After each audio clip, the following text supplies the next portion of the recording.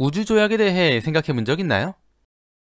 아기가 태어나면서 얻게 되는 국적은 아기의 엄마 아빠가 어떤 국적을 가지고 있는지 아기가 태어난 장소가 어디인지에 따라 달라집니다. 엄마 또는 아빠가 A라는 국적을 가지고 있다면 A 국가에서 태어나든 외국에서 태어나든 태어난 장소에 상관없이 아기는 A라는 국적을 얻게 된다는 것이 혈통주의입니다. 우리나라를 포함해 중국, 일본, 독일, 이탈리아 같은 나라가 혈통주의 국가입니다.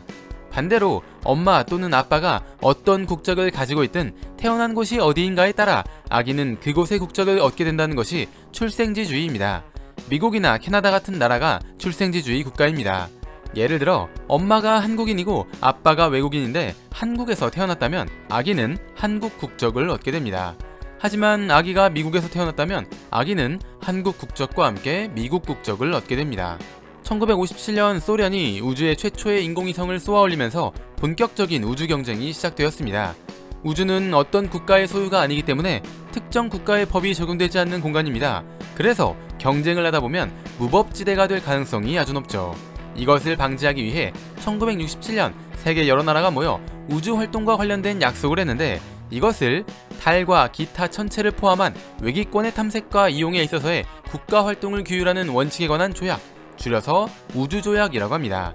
우주조약 제2조를 보면 달을 포함한 우주 전체 공간은 어떤 국가의 소유가 될 수 없다고 나옵니다. 그렇기 때문에 우주에서 아기가 태어난 경우 국적에 관한 문제가 애매해질 수 있지만 우주조약 제8조를 보면 우주에 발사된 물체는 그 물체를 소유한 국가가 관할권과 통제권을 보유한다고 나옵니다. 즉, 미국이 소유한 물체라면 그 물체에서는 미국의 법을, 러시아가 소유한 물체라면 그 물체에서는 러시아의 법을 따른다는 것이죠. 예를 들어 엄마가 한국인이고 아빠가 외국인인데 아기가 혈통주의 국가 소유의 우주선에서 태어났다면 아기는 한국 국적을 얻게 됩니다.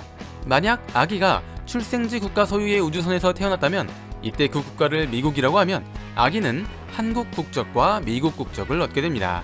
아기가 우주에서 태어났다고 해서 국적이 없거나 외계인이 되는 것은 아니라는 것이죠.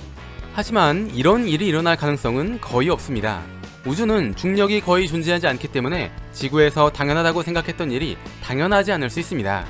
우주에선 피가 평소처럼 돌지 않기 때문에 남자가 성적 자극을 받아도 발기가 되지 않을 수 있으며 우주에는 지구보다 훨씬 더 많은 방사선이 있기 때문에 성관계를 했다고 하더라도 수정이 되지 않을 확률이 높고 수정이 됐다고 하더라도 이후에 유산될 가능성이 높다고 합니다. 이런 이유 때문에 우주에서 출산은 물론 성관계를 한 사람은 지금까지 한 명도 없었다고 합니다. 뇌를 채워줄 은덩어리 지식들 오늘의 은잡지 영상은 여기까지입니다. 시청해주셔서 감사합니다.